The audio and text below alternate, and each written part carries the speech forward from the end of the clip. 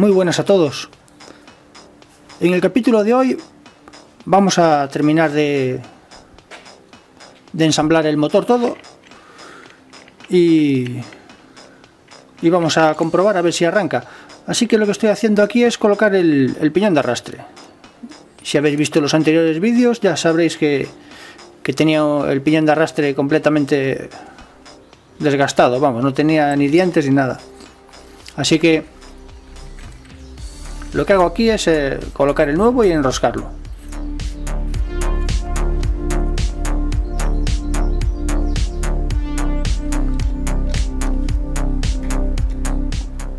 Yo lo que hago es simplemente darle un apretoncito y luego con y las demás piezas que coloque también el, el embrague y todo van a ir solo presentados prácticamente luego voy a terminar de, de apretar todo cuando el motor esté montado al estar montado el motor se aprieta mejor todas las tuercas tornillos y todo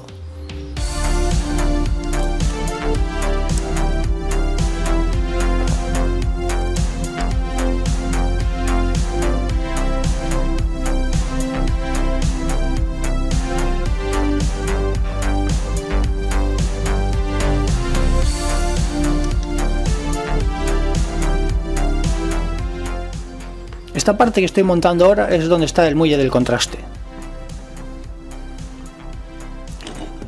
La forma de montarlo es igual que, que, cuando lo desmonté, así que no tiene mucha explicación.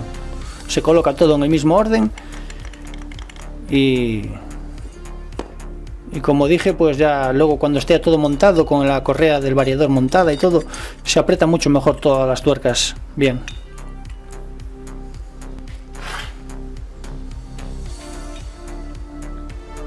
Para montarlo hay que apretar bien fuerte porque el muelle hace, hace fuerza.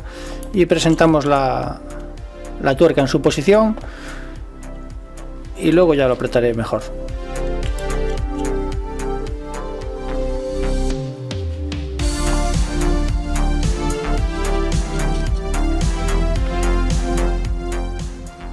Este es el embrague de la moto.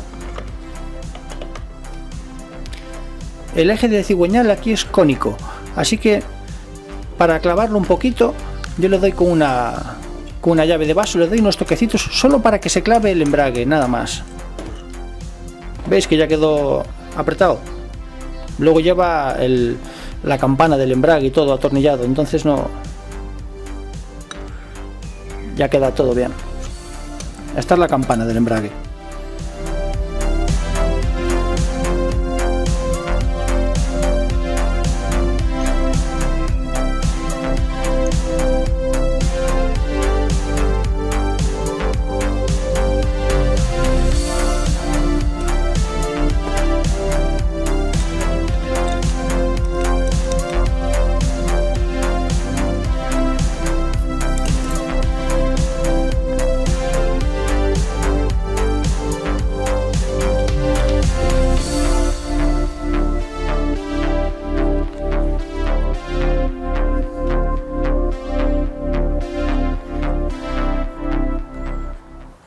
Ahora estoy colocando la correa del variador. Con la correa montada es más fácil apretar las tuercas luego de esta parte de la moto. Porque la propia correa ya, te sujeta las dos poleas y hace una cierta presión.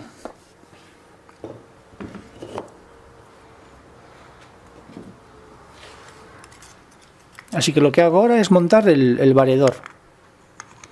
Llevo unas muescas en la campana, donde está el eje central, llevo unas pequeñas muescas que hay que cuadrar bien. Y luego, pues nada, ponemos la, la pequeña arandela esta que lleva y la tuerca.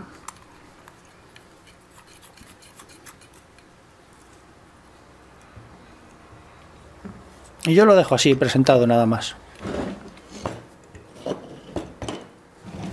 Lo siguiente que voy a montar es el encendido de la moto.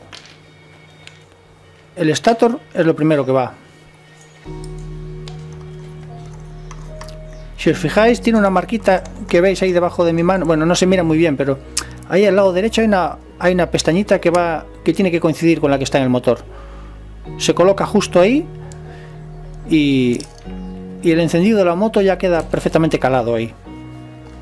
El encendido electrónico de esta moto es más sencillo que el, que el de platinos. El de platinos hay que andar a, a regular los platinos.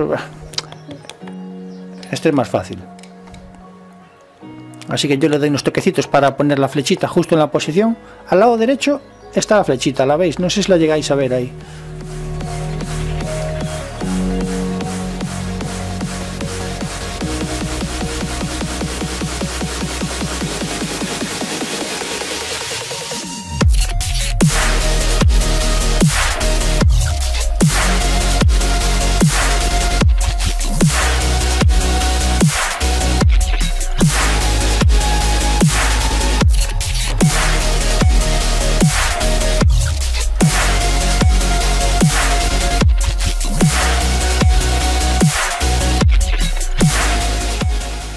Lo siguiente es colocar el, plato magnético en sí.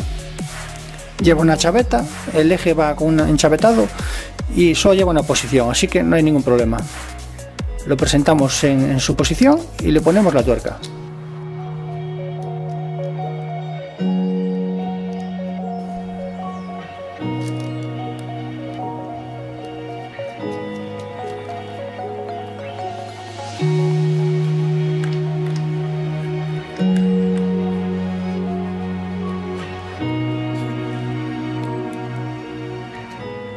Lo que voy a hacer a continuación es colocar el cilindro, cilindro, pistón, culata, toda esa zona de la moto.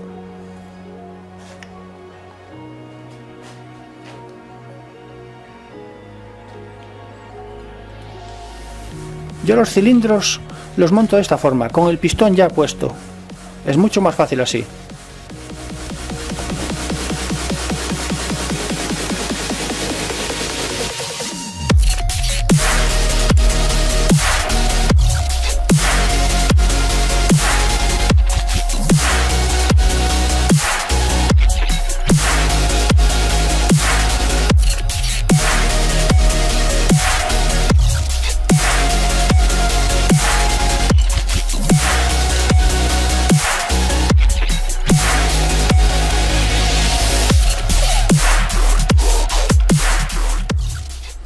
Ahora para el primer arranque de la moto le echo un chorrito de aceite dentro del cilindro. Por el agujero de la bujía le echamos un chorrito.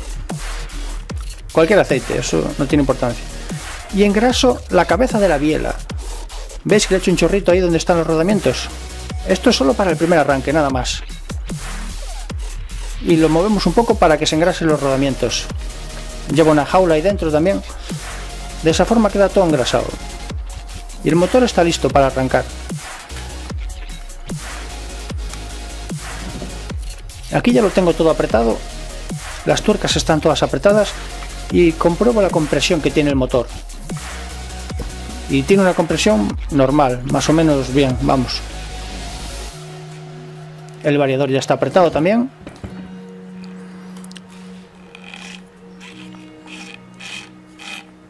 Ya tengo puesta la tobera también arriba Así que el siguiente paso es montar el motor.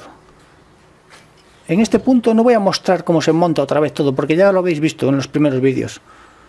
Simplemente se atornilla ahí al basculante abajo y se sube el motor y se mete el pasador y ya está, no tiene misterio. Así que este paso me lo voy a saltar para no hacer un vídeo eterno aquí. ¿Veis? Ya está montado al basculante, atornillado. Así que lo que hago es subirlo y le pongo el pasador arriba. Luego hay que hacer las conexiones, claro, pero no tiene gran, gran cosa eso. ¿Veis cómo queda? Ya tiene el carburador puesto. Está todo en su posición. Así que vamos a arrancarla, ¿no? A ver si arranca. Tiene buena compresión la moto.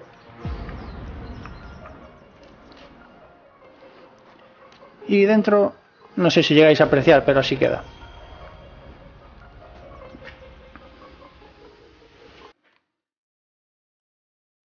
Así que le vamos a echar un poquito de gasolina al depósito y vamos a ver si por fin la moto arranca o no arranca o qué hace, ¿no? Este es el primer arranque, tal cual eh, monté el, el motor. Esto es lo que hace la moto. No la arranqué antes ni nada, es la primera vez.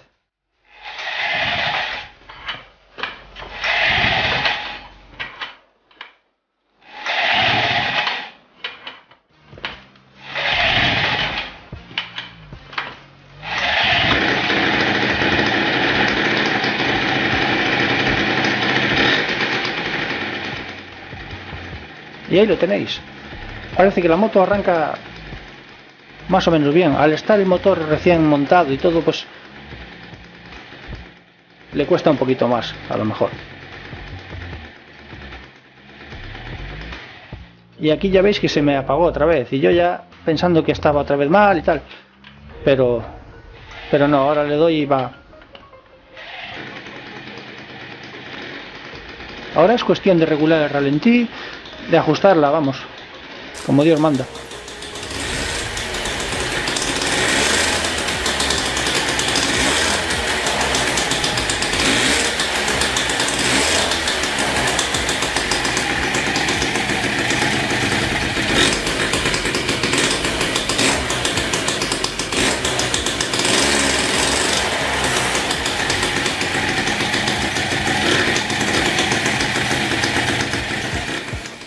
Aquí compruebo que tiene el ralentí un poco bajo, así que se lo voy a subir un poquito. Ahora la moto quiere un ajuste, eh, lo que da trabajo ahora es esto. Y lo que sucedió aquí es que luego se me apagó la moto y no arrancaba. Y la tuve que sacar afuera y por una cuesta que tengo en casa, tengo una, una pequeña pendiente, la conseguí arrancar. La verdad es que cuesta arrancarlo, ¿eh? Cuando el motor está recién montado cuesta mucho más arrancarlo.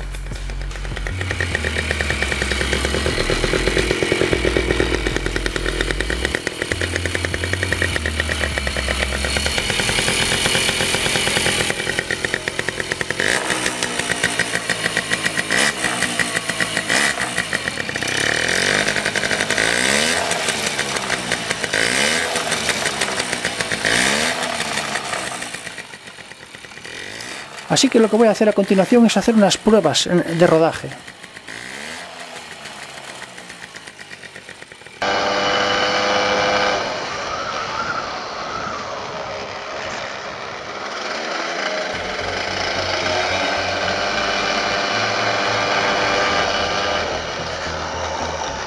Bueno, bueno, pues ya veis, la moto... La moto después de haberle cambiado el motor y todo todo lo que visteis en los vídeos, pues ya veis, eh, finalmente está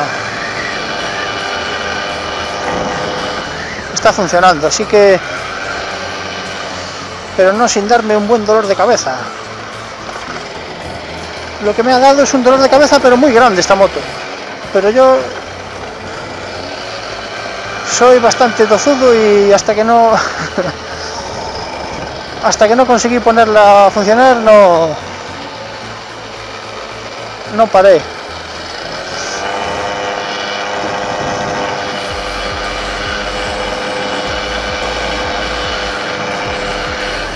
Bueno, la moto anda como una moto de serie normal, ya veis que...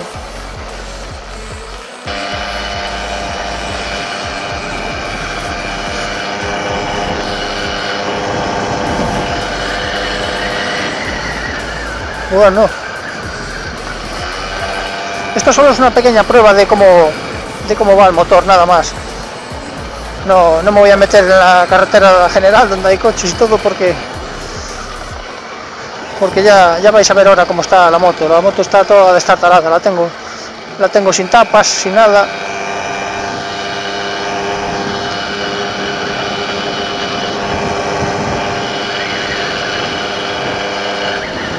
Muy bien, la moto va muy bien, la verdad.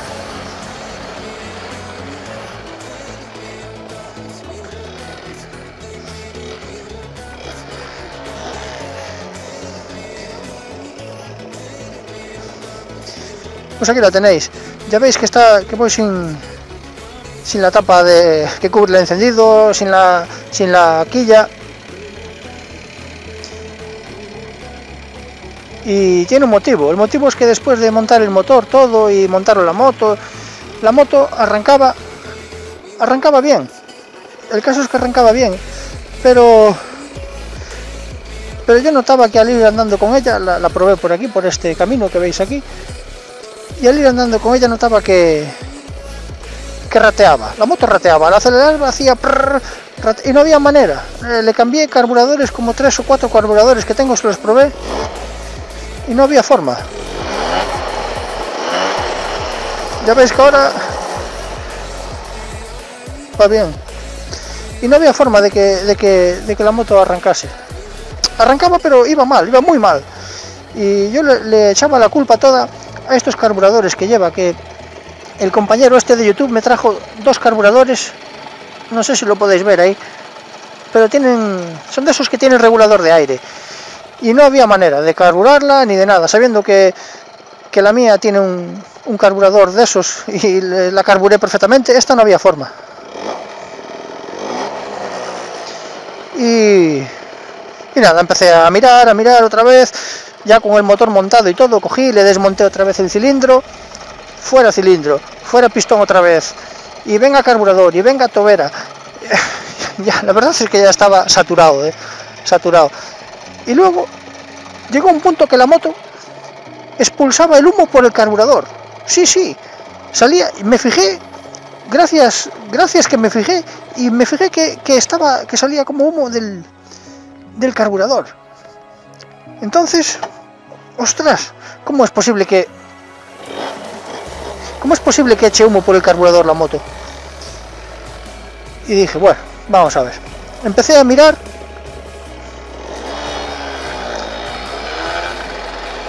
Empecé a mirarlo. eh, a ver qué le pasaba a la moto, porque eso no es normal en una moto que eche humo. Eh, únicamente si el encendido está muy, muy atrasado, que, que- hace la explosión justo cuando el pistón está bajando y está cerca de, la- de las lumbreras de carga del cilindro, vamos, no sé si me explico. Y, y se me ocurrió meter el dedo en el tubo de escape, sí. Con el dedo gordo tapé el tubo de escape atrás y me llevé una sorpresa. La moto no echaba humo, aspiraba el humo por el tubo de escape. Yo me fijé en eso y, que- me quedé flipado, vamos, yo... ¿Cómo es posible que una moto eche humo por el carburador y luego lo aspire por el, por el tubo de escape? Al contrario.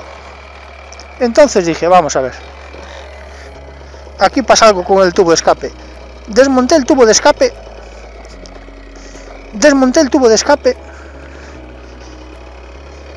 Y efectivamente, el tubo de escape está lleno de piedras, así de gordas, como carbonilla todo, y, la moto no desahogaba, pobre moto, no desahogaba por ahí y devolvía el humo por el cilindro y hacia el carburador otra vez.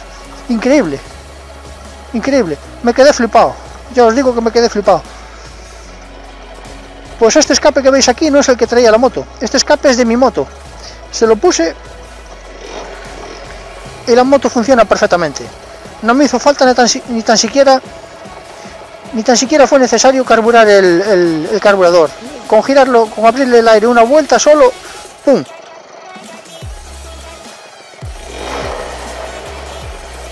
De maravilla. Y me dio un dolor de cabeza. Yo pensaba que era el carburador, pensaba que era la tobera de admisión. Me volví completamente loco, eh me volví completamente loco, pero la moto, yo le dije al compañero este que no se marchaba de mi taller sin funcionar y así va a ser. Ahora lo que voy a hacer estos días es eh, limpiar el tubo de escape por dentro, a ver cómo se lo limpio, con una varilla o tal, o ya miraré a ver cómo hago. Quitarle esas piedras que tiene, debe tener cada suena dentro, debe tener cada piedra. Y se lo limpiaré, se lo pondré y ya voy a avisar al compañero que venga a buscarla y a rodar.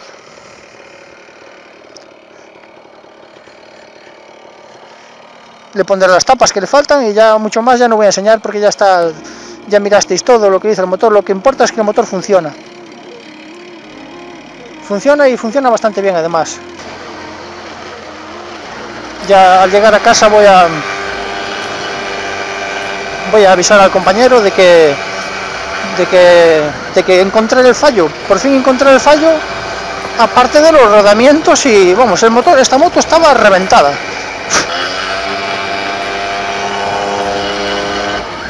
Claro que anda bien, si las derbis, si las variant andan de maravilla, estiran que da gusto, y a mí no me andaba bien, la moto no andaba bien, no andaba bien, no había forma de que, de que, de que estirase la moto, la moto no estiraba, y si lo estiraba luego ya, ya, pum, ya hacía, oh, otra vez, se quedaba.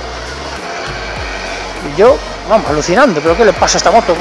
Y era el escape, era el escape que estaba ahogando la moto.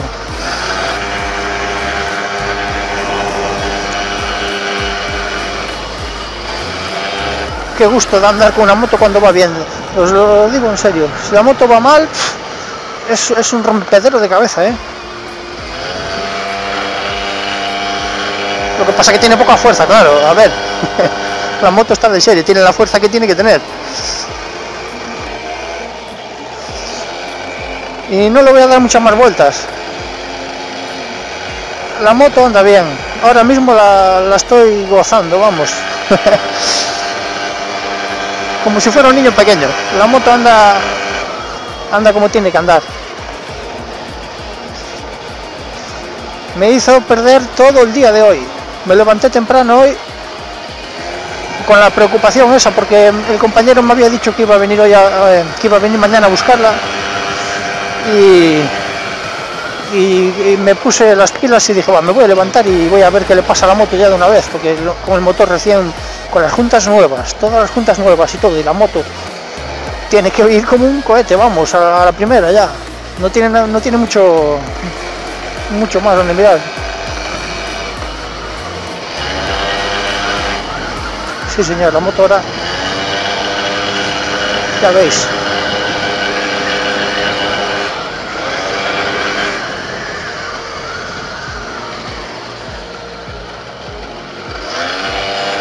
Perfecto. Y el dolor de cabeza que me dio. Perdí todo el día, toda la mañana, la perdí dándole vueltas a la moto a ver lo que le pasaba. Y toda la tarde hasta ahora, que ahora ya os digo, son las ocho y media. Pero bueno, lo prometido es deuda y el compañero puede venir a buscarla y se lleva la motito funcionando, que es lo que importa. Y poco más por hoy.